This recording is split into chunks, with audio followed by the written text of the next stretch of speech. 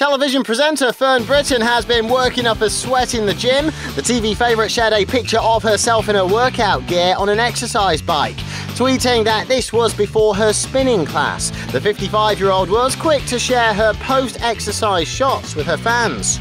Though she had had an exhausting workout, the Strictly star looked ready for her close up.